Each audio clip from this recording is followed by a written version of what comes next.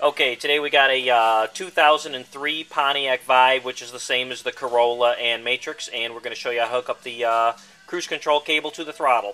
So what we've got here is, first thing we're going to do is we're going to put the uh, throttle bracket on. So we've got to remove a 12 millimeter nut that's holding the uh, cam on.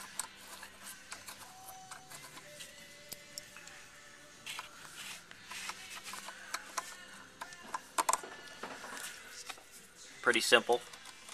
It's grooved on both sides so it can only go on one way.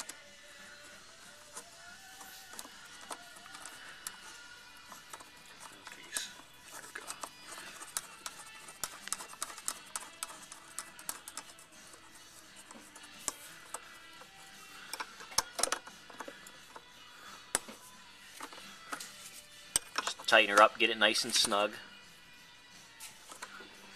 And then that's our anchor bracket and then we've also that excuse me that's our throttle bracket. And then now we want to put on our anchor bracket which is going to come up and we're going to loosen the uh, 14 millimeter nut that's holding the original equipment throttle cable on. We just back that off a little bit insert our anchor bracket. And again snug that one right up. And then now we've got our cruise control cable itself and what we've got to do is we're going to, uh, we've got to pre-thread this cable, which we've already done. And basically what we're going to do from the beginning of the cable to our uh, cruise connector here is approximately 11 centimeters. So we want 11 centimeters between the beginning, excuse me, the end of the cable and the beginning of our anchor point here. So once you do that, then we'll just thread our anchor point on here. And then what we'll do is we're going to feed it through our anchor bracket. And it's going to clip in. Once it's clipped in, then what we want to do is we've got to connect the actual inner cable to our throttle bracket.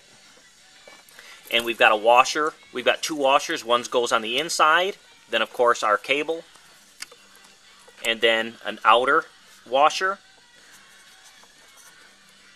And then we've got a cotter pin that you're just going to insert through the hole in the anchor bracket, or excuse me, the throttle bracket. And that's basically it. That is our throttle connection for the 2003-2004 Corolla Matrix and Vibe.